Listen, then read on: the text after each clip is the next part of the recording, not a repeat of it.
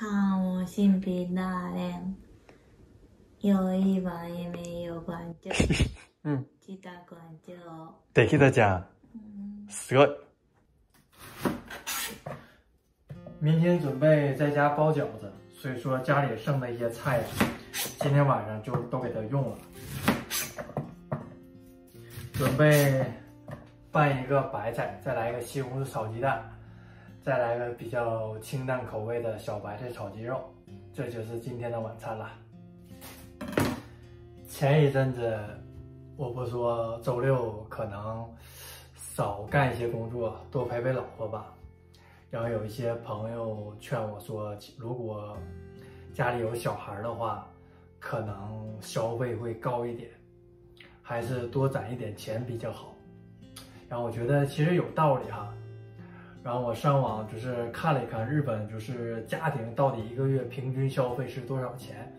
我之前更新那个视频，就是我跟我老婆两个人，现在如果算上房租的话，差不多一个月的生活费是十八万日元。但是里面没有添加那个交通费啊，也忘记了就是把那个两个人一起出去旅游啊什么的钱加里面。所以说，如果都家里面的话，差不多一个月可能要二十二万日元左右。两个人的生活没有孩子的情况，网上的日本人的平均生活费呢是二十六万日元。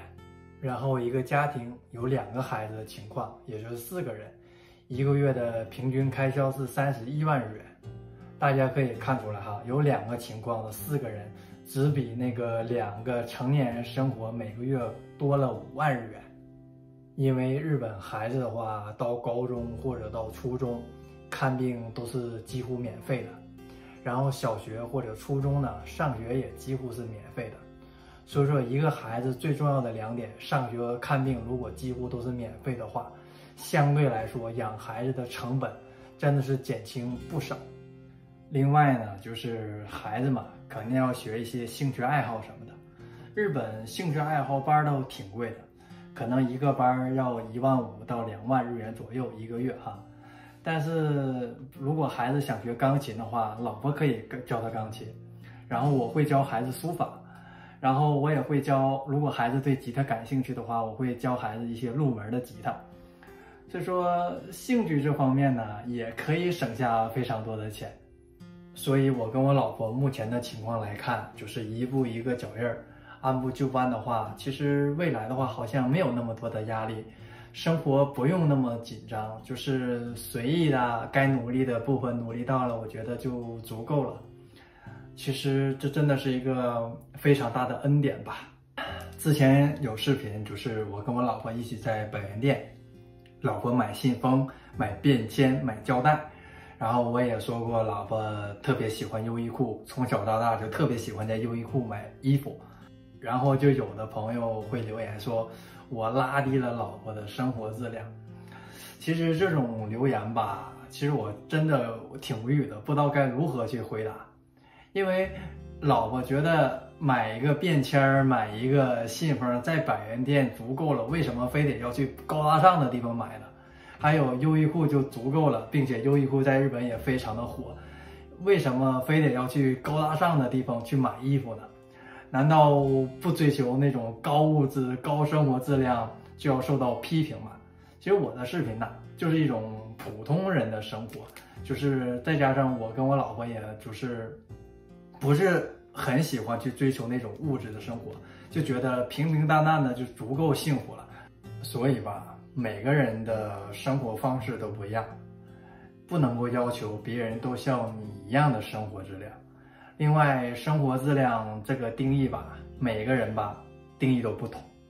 比如土豆啊、蔬菜呀、水果啊，有的超市便宜，有的超市贵。作为一个普通人来说，当然会去便宜的超市去买菜，对吧？你不能因为我去便宜的超市买菜，你就说我拉低了生活质量。每个人啊都有适合自己的生活方式，适合自己的才是最好的。老婆回来啦！啊，给他买了果冻。这里是 Kitty 熊。嗯。东京的妹夫好像感染那个疫情了。前一阵子我小弟也感染了，但是其家人其他人都没事儿。所以说这个疫情啊也挑人呐，看来。小金家的晚餐出炉了，小妹儿上班了，开饭了。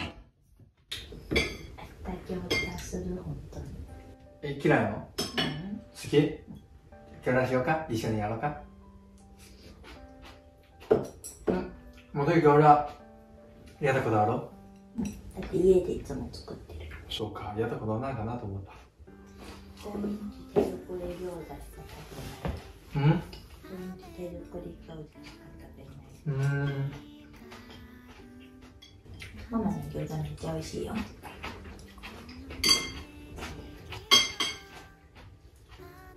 じゃあ明日は同僚同僚ね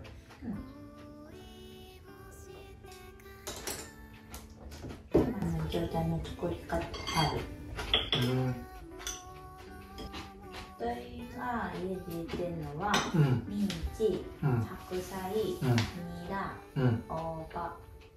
大葉も入れるの？美味しい美味しいよ。じゃあこれ一種類。もう一種類は箱を決めてもいい？いいよ。じゃあ1個は無いのまんまのやつね。すげえなメモした。うん。じゃあこだしとオイスターソースとごま油入れて塩コショウと片栗粉入れてチュチュチュってセブンイレブンでポンポンプリンのケーキ置いてる、うん。って知ってる、俺2箇所セブンイレブン行ったけど全部売り切れ。うん残念。あーリンコが送ってくれたやつ。見したっけ？うん？白馬に見したんじゃん。見せてない。見せてない。そそうそうそうそう。俺2箇所行ったけど。うん。売り切れ。あー朝行かないと手に入れへんじゃん。あ明日行ってみようか、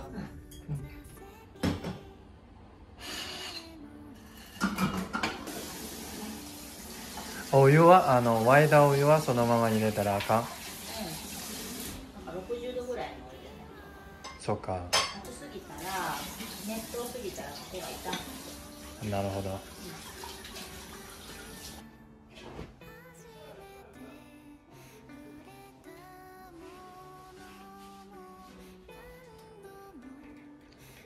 今何をしてるの？写真入れて。チーム完成した？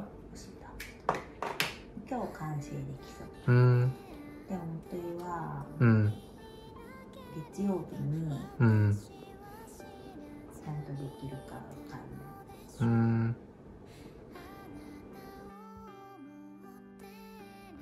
今わかった？アンドアンアンあんアンじゃないアンあんアンあんアンあんそう。アンあんアンあんアンじゃない。アンあん。あん。うんあるね。アンあん。カンかん。カンじゃない。カンかん。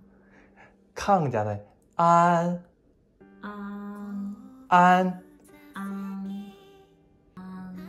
アンじゃない。アンあん。アンじゃないもといいアン鼻使わない。アンあん。そう。かん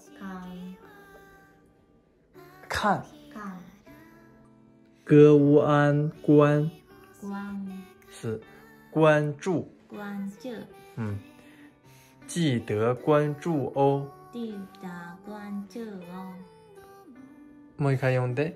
看看，看そう、我我是是平平的的人，人人人看我视频的人。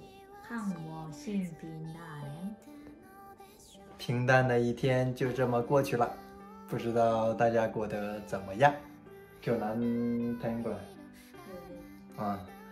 明日まだ聞こう俺。聞いても聞いてて。嗯。希望大家能够点赞、关注、订阅我的频道。我是小金，我们下次再见，拜拜。